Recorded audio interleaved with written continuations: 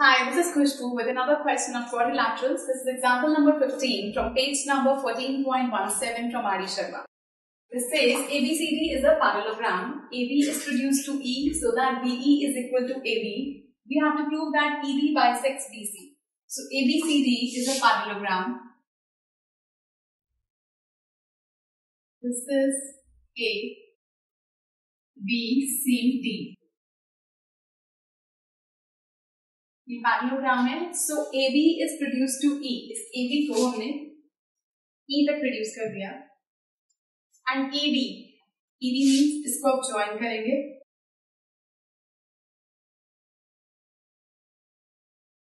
ED bisects BC ये ED BC को bisect कर रही है, हमें प्रूव करना है।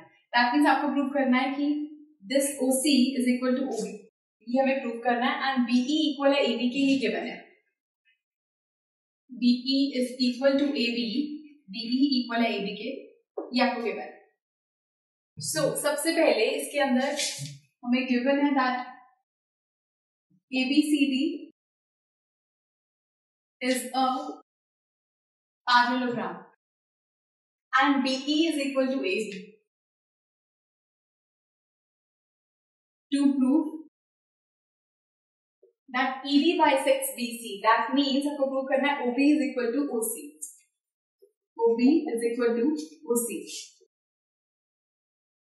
So, अगर हम इन दो ट्राइंगल्स पे इस ट्राइंगल को और इस ट्राइंगल को कॉन्ग्रेट प्रूव कर दें तो हम सीधी सीधी से कह सकते हैं कि this side is equal to this side so in triangle COD and triangle BOE सबसे पहले हमें गिवन है suppose this is angle one this angle two दोनों एंगल्स इक्वल है because they are vertically opposite so angle one equals angle two vertically opposite angles और अगर ये दो लाइंस पैरेलल हैं and this is a transversal suppose this is angle three and this is angle four so ये angle three भी angle four के equal होगा because अगर ये लाइंस पैरेलल है तो ये जेड फॉर्म कर रहा है ये बन रहे हैं ऑल्टरनेट एंगल्स यहाँ से अगर लाइंस पैरेलल है और ये ट्रांसवर्सल है तो ये वाला एंगल और ये वाला angle is alternate so angle three is equal to angle four reason हम देंगे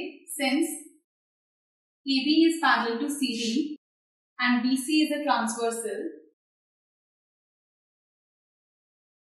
BC is transversal, therefore angle 3 equal होगा angle 4 के alternate angles are equal. Alternate angles are equal तो थ्री फोर के इक्वल हो गया। नाउ हमें given है? A B A B equal है बीई के दैट मीन्स सी डी भी इक्वल होगी बीई के C D is equal to BE इसका रीजन हम देंगे since A B is equal to C D and A B is equal to A B इसके भी इक्वल है, इसके भी इक्वल है। तो दोनों आपस में इक्वल होंगे। Triangle COD is congruent to triangle BOE triangles congruent हो गए angle angle side A A S property से।